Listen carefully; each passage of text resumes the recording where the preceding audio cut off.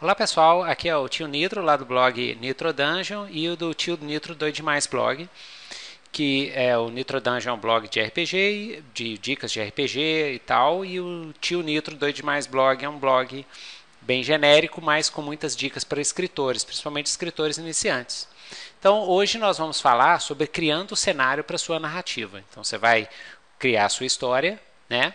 Nesse Nitro Dicas 5, quinto Nitro Dicas, você vai criar a sua história, vai criar um cenário e a gente uh, precisa tem certos elementos para você criar o cenário da sua história. Então essa é, vou falar hoje um pouquinho sobre isso, né?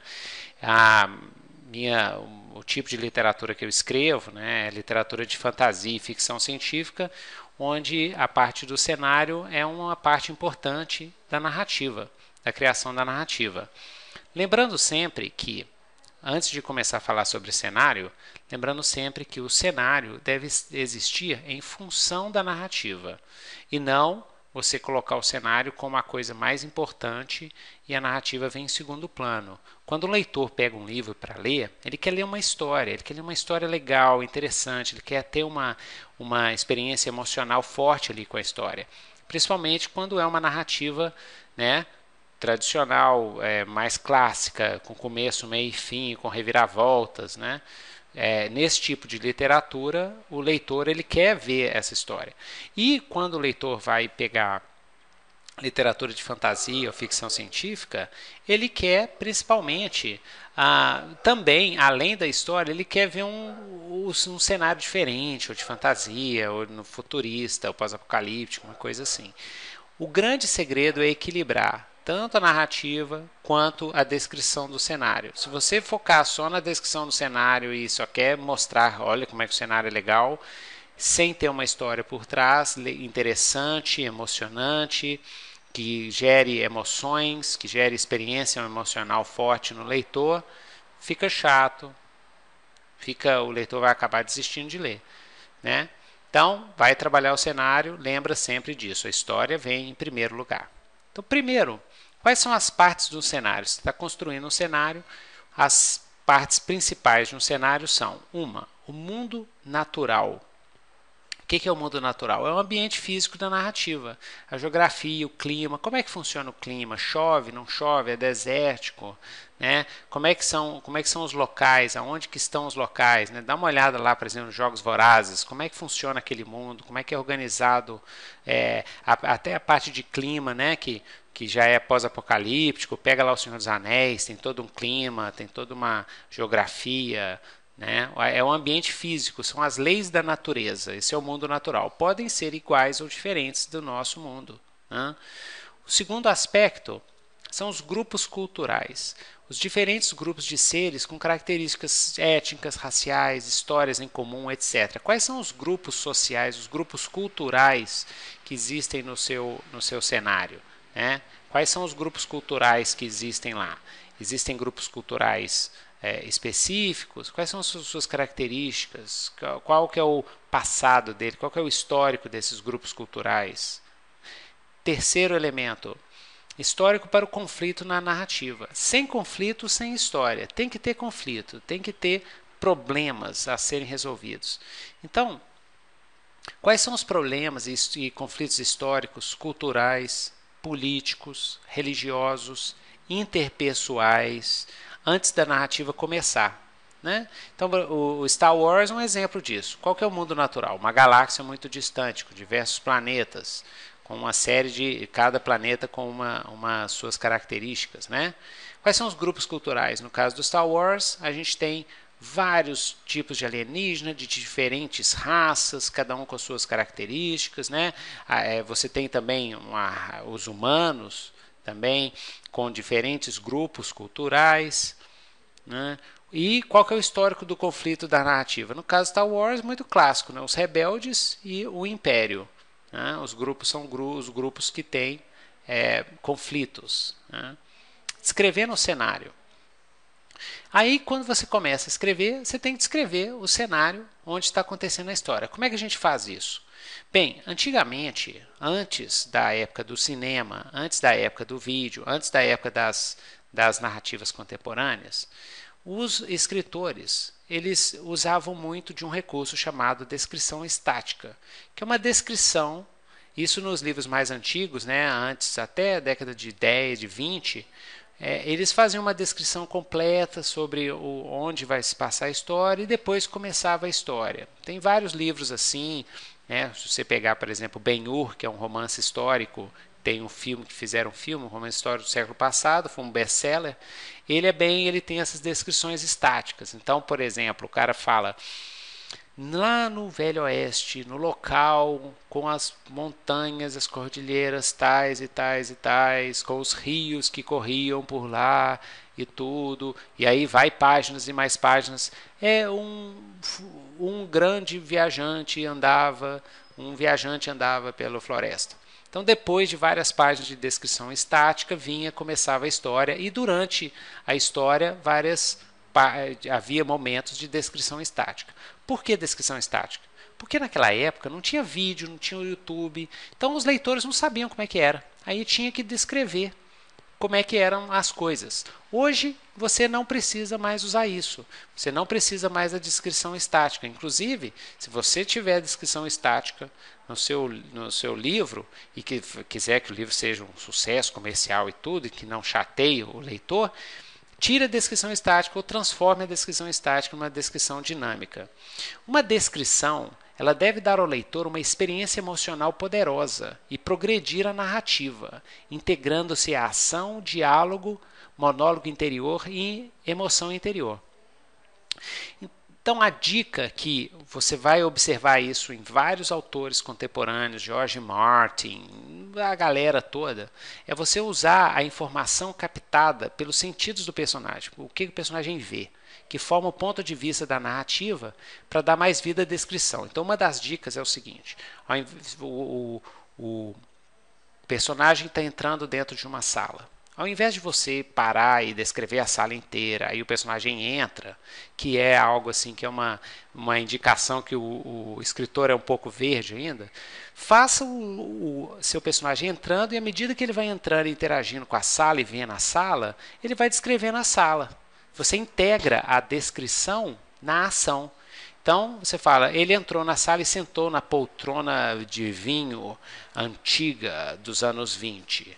Pronto você já colocou na, na, imaginação do leitor como é que é a sala. E hoje os leitores têm muito mais imagens no banco de memórias dele do que os leitores antigos. Então hoje você pode fazer descrições mais simples, mais pontuais, que o leitor mesmo vai preencher o resto.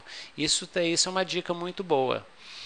Integrar a descrição na ação de maneira sutil e, se não existe uma razão narrativa para descrever algo do cenário, evite a descrição, não precisa descrever. Descreva. Isso, é, depois que você faz a primeira versão de um romance, e depois que você volta, ou, ou se você vai escrevendo, vai revisando, vai escrevendo, vai revisando, nessa segunda passagem é essa hora que você tem que tirar a gordura do texto. Eu leio vários livros que é, de autores mais novos que não teve não teve esse trabalho de revisão. Então fica em excesso fica palavras em excesso. Então vai enxugando vai fazer uma descrição descreve apenas o que vai ser necessário para a cena. O que não é necessário para a cena tire arranque manda ver. A história tem que andar a história tem que ir né?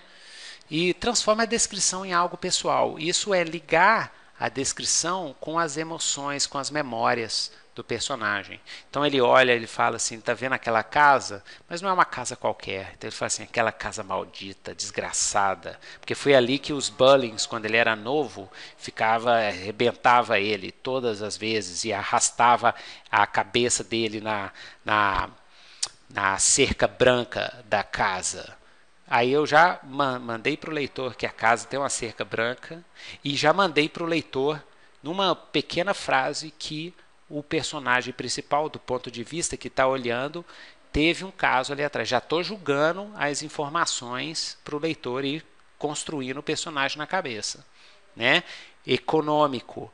Isso é que é fera. Os escritores feras eles conseguem falar muito em pouca coisa Quando o escritor está começando, quando o escritor ainda não fez aquela revisão boa, não leu em voz alta o texto que já escreveu, aí vai crescendo, vai inchando as frases. Né? Quando ele vai revisando, ele vai ficando fera, ele vai ficando cada vez mais sintético, passando um monte de informação em poucas palavras. E, e altere a descrição de acordo com o estado psicológico e emocional do personagem, que serve de ponto de vista. A gente vai trabalhar ponto de vista mais para frente em alguns nos outros vídeos, mas ponto de vista é basicamente você escrever a história dentro da cabeça, dentro da cabeça do, de um dos personagens da história.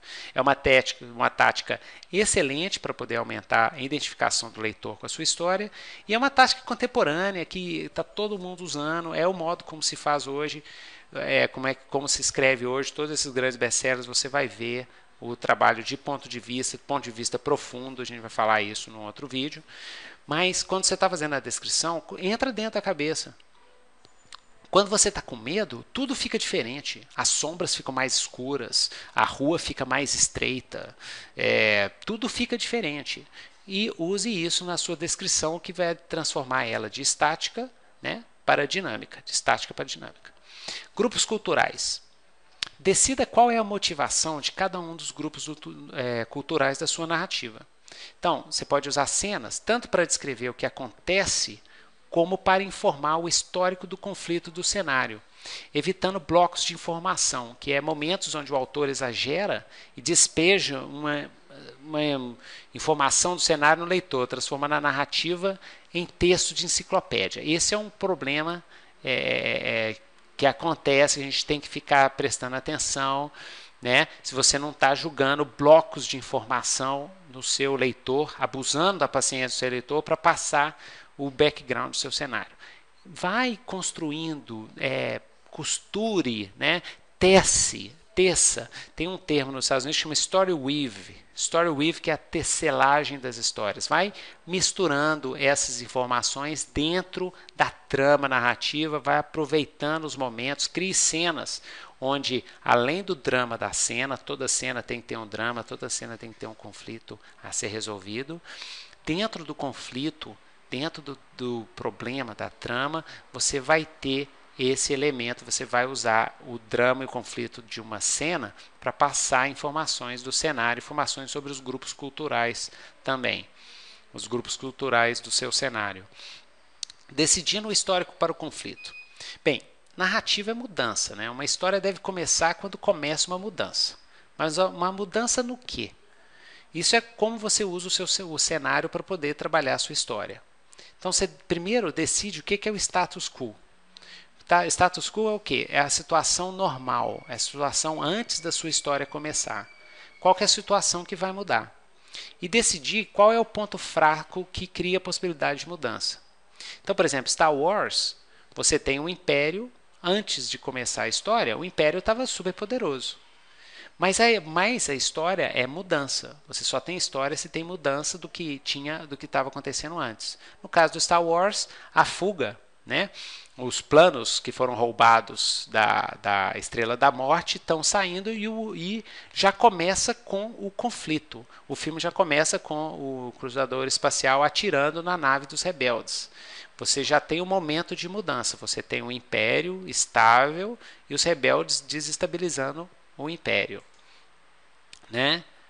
Objetivo da narrativa. Depois de criado o cenário, depois que se criou o seu cenário, se pergunte qual é o objetivo da narrativa, qual é o objetivo da história. Normalmente, o objetivo de uma história é revelado por uma pergunta. Então, por exemplo, no Senhor dos Anéis, a pergunta é: o Frodo conseguirá destruir o anel? No Star Wars, a pergunta é: os rebeldes conseguirão vencer o Império? A resposta à pergunta é a história. Se vai ou não, a gente vai ver só lá no final. Mas se você não tem essa pergunta, você não tem história. Toda história tem um objetivo. Pode ter até vários objetivos e um objetivo em geral, assim, maiorzão, né? Para dar aquela unificada. Também tem esse problema. Tem histórias que apontam para tudo quanto é lado e no final não está falando nada. Né? Essa pergunta define para o leitor como é o sucesso e como é o fracasso dentro da narrativa. O que, que ele espera como sucesso e o que, que ele espera como fracasso. E cria o que a gente chama de tensão dramática. Tensão dramática é quando uma coisa pode dar certo, pode dar errado. pode causar fracasso ou sucesso. Sem tensão gramática, você não consegue fazer aquele efeito que todo escritor quer, que é o page turner, que é fazer o seu leitor ficar girando a página porque ele quer saber o que, que vai acontecer. A tensão gramática é isso. Né? O leitor tem que ter uma noção dos riscos que envolvem a narrativa. Pesquisando para o cenário da narrativa. Bem, identifique, né? Identifique o que você vai irá precisar para a narrativa. Então, é, veja que nível, nível de detalhe você precisa para a narrativa. Então, muitas vezes, quando a gente está escrevendo um livro, né, a gente. nível. É, muitas vezes, quando a gente está escrevendo um nível, a gente não precisa, a gente precisa saber é, o que, que a gente vai usar na narrativa, o que, que a gente vai usar.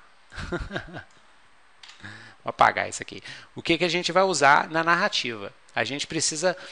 É, é, você vai pesquisar, por exemplo, você vai escrever uma história da Segunda Guerra Mundial, você vai fazer um, uma pesquisa sobre a história da Segunda Guerra Mundial, o que, que aconteceu e tudo. Mas, para você não se perder nessa pesquisa, é, veja exatamente o que, que você vai precisar. Normalmente eu faço a pesquisa, começo a escrever a história e depois eu volto é, quando eu preciso de alguma coisa e vou lá e pesquiso. É exatamente aquilo que eu estou precisando. Ah, eu preciso saber como é que funciona tanque na Segunda Guerra Mundial. Aí você vai lá e pesquisa. Senão, você vai ficar só na pesquisa e a história que é boa, escrever a história, não vai. Né?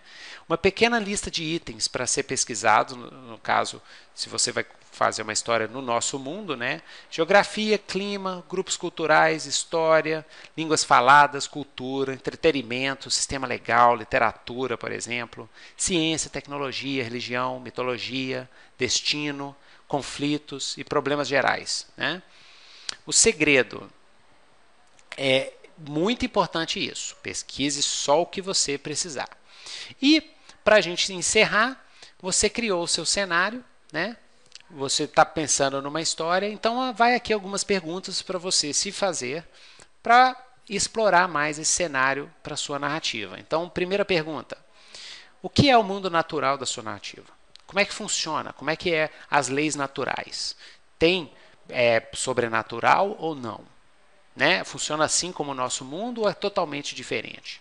Como é que ele funciona? Ele, o cenário, o mundo, as leis naturais interferem na narrativa ou não? Então, no meio da narrativa, você tem uma tempestade. Tem tempestade naquele lugar onde você está criando a narrativa? Preste muita atenção se você for fazer história no nosso mundo, para não dar é, problemas. Porque aí, ó, é tiro e queda. O leitor vai ler, vai mandar e-mail para você e falar assim: olha, não tem tempestade nesse lugar. Né? Quais são os grupos culturais? Quais são suas motivações? O que torna a mudança possível na narrativa? Narrativa é história de mudança. É possível ter mudança ou não? Está é, tá instável essa situação que, que, que você criou? Né? Tem, muito, tem muitas histórias né, que às vezes eu leio e que a história começa, passa 10, 20, 30, 40 páginas, mas a situação, o status quo do cenário não mudou. Só depois de 40 páginas acontece um evento que começa a história em si. Né? Se você for fazer isso, tenha um bom motivo para fazer isso. O melhor é você já começar a história e já mostrar rapidamente qual que é o problema, qual que é o conflito que está gerando a mudança. Né? E depois que você fez essas perguntas, escreva a pergunta da sua história. Né? Uma história ela pode ser entendida como um processo de resolução de um problema. Então, por exemplo, no Star Wars, o problema era o Império e toda a saga é a solução desse problema. Olha só que interessante, né? Então a história foi isso. Então são várias etapas da solução de um problema. Isso é uma concepção de história de uma teoria que eu estou estudando aí, chamada dramática, que mais para frente eu devo fazer uns vídeos para vocês, ok? Então é isso aí, pessoal. É, vamos continuar escrevendo, porque escrevendo é doido demais. E visite lá o nosso site, né, do http dois pontos barra barra tionitroblog.wordpress.com e se alguém quiser mandar mensagem, conversar, mandar para mim, pode mandar uma mensagem lá no meu profnewtonrocha@gmail.com. E até a próxima. Espero que vocês tenham gostado desse é, dicas de escritores para você criar o seu cenário da sua história. Bye bye.